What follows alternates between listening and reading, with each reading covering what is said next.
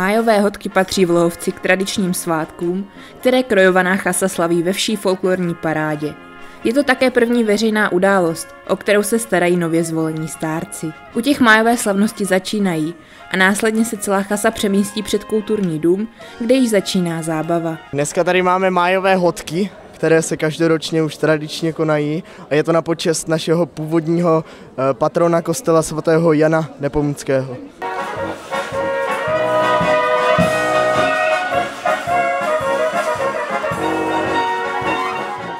Na počátku minulého století došlo k přistavení části kostela a při této příležitosti se kostel také přesvětil. Hlavním patronem kostela je od té doby svatý Bartoloměj, na jehož počestu od té doby také slaví hlavní hody. Ovšem, jak už bylo řečeno, vlhovci dodnes dodržují tradici majových slavností. Tras byl ve dvě hodiny odpoledne u Stárka a odtud se šlo průvodem směrem ke kulturnímu domu.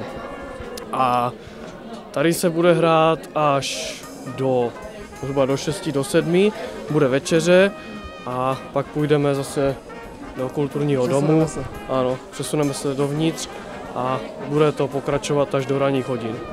Kdo vám tady dneska hraje? Dneska hornobojení. Abych řekl, proč jsme si je vybrali, tak jeden náš kamarád eh, z rodiny s nima také hraje, takže jsme chtěli odzkoušet.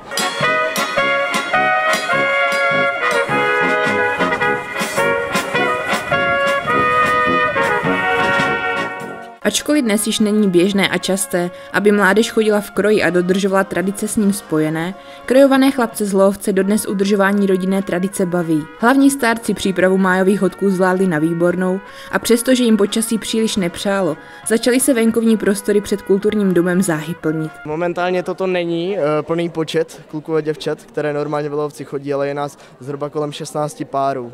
Hmm. V Lovci.